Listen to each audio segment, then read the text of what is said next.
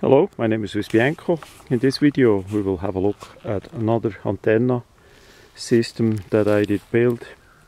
It's two different antennas but uh, the system is pretty much the same. So one is on the left side standing up and we see here the top part so it's basically a U-shape uh, bend of steel uh, there is X possibilities. You can get really creative. What I used for this antenna system is basically scrap, scrap uh, steel. So by the big shear uh, once you cut off uh, sheet metal you do often the first uh, cut to have it uh, straight. So that is about uh, 12 millimeters that got sheared off and uh, of course that thin strip gets a bit uh, bended and twisted as the shear uh, cut it off. So you need to straighten it up afterwards. If you want to reuse it usually that is just scrap. So we have on the left side the first bend there with two screws in this case. We have a bad wind today unfortunately then it goes all the way up to here second bend. I mean the yeah the second bend then all the way over here third bend and then it goes down here down here to the other leg for the last bend. Uh, we have each end two screws in this case in the middle of a wood of a scrap wood plate. Uh, this idea can be changed of course. You can uh, directly screw it on wherever you like.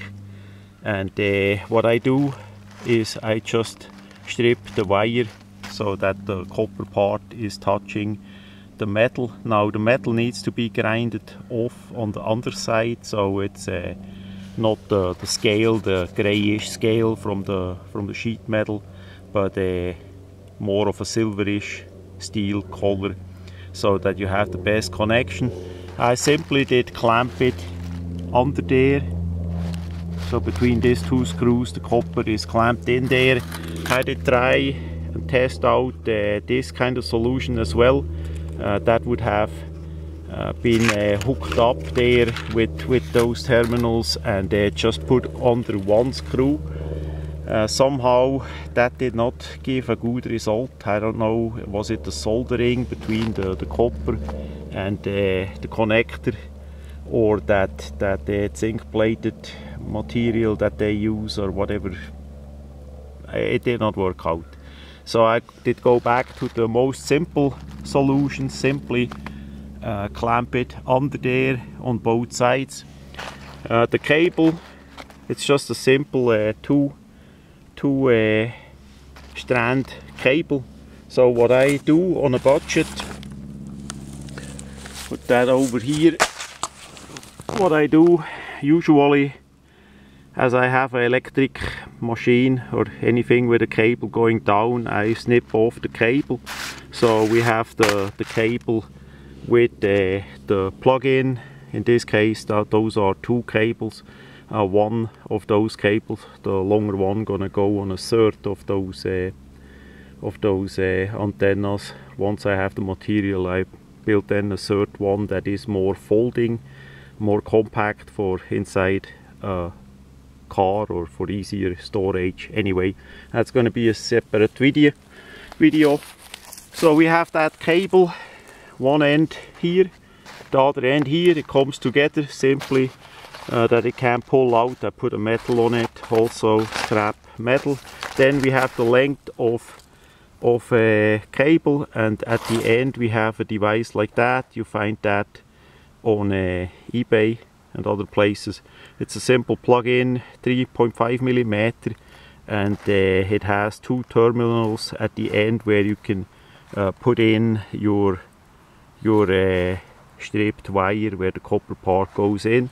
So as you have that part with the 3.5 millimeter uh, plug-in if you have a usual radio it has a plug-in for the antenna this case in the middle. As we uh, see on that one here it's already plugged in. So most of the of the radio nowadays uh, have the the plug-in but of course you can use uh, different connectors as well. Uh, for me I use uh, this directly with the with the radio but I still wanna do an adapter for a clamp a simple crocodile clamp. So we can uh, actually uh, clamp it directly to the antenna on radios that doesn't have uh, a plug-in. Unfortunately those crank radios where you don't need electricity uh, uh, electric source. They only or often they don't have a plug-in so it's a bit a problem there. So that is number one. I put it down so that the height not gonna fall. You see the size the size is up to you how big you want to have it. Uh, this design is made that it uh, stands alongside the wall so that it doesn't need much space. So I just had the, the length of the scrap metal. I did uh, calculate it about the size what I wanted to have and that's how that one did turn out. Number two here is a bit bigger. So same design just a, a bit a different approach with the with the wood plate. So from the side that we watch it here that's going to be towards the wall. And the, the longer part of the wood gonna get covered up with something that has a bit a weight to it uh, another device let's say that. So that's why that wood piece there is a bit longer. And uh, it will stay better in place. Of course you can screw it on on the bottom as well. It's really up to you what you want to do. It's basically that you have a bit an idea what you can do what is possible. Now how well does it work? Uh, this antenna I used it mainly inside for now. It works pretty well for what it is I would say because of the thicker metal. Uh, usually in my experience if you have a bit of thinner uh, wire uh, just a copper or a steel wire uh, somehow that doesn't give you the same results as a bit with a with a thicker with a thicker metal uh, I saw that as I made the antenna with the thick electric cable. Uh, video is online in English and German and uh, since then I'm more I lean more towards thicker metal using thicker metal. And uh, I saw solutions like this also with thin like 3 millimeter round uh, welding rod uh, wire. Uh, that works too. In my books just not that good as with a bit of thicker metal but on the other side uh, thinner metal is easier to manufacture and and uh, to work with for people. So it depends what you have.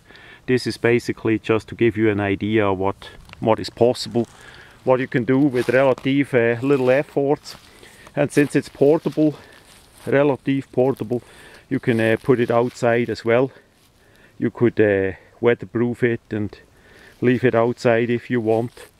Uh, also for people that uh, work in places where you can't do much uh, maybe you could make a size of that that looks like a frame on the inside or outside of a window so it would not drag much attention uh, to that either so that's part of the shortwave radio and radio in general. Uh, you can try it out, test it out. Then with experience you learn what works in your situation a bit better, what is easier, what is less good, less easy. And uh, that's the, the fun about it. So yeah, pretty much that's it. On these two ones, there's gonna be uh, another video then on the on the version that can be folded down once I get the, the scrap material I'm gonna try that out uh, until then good luck and be safe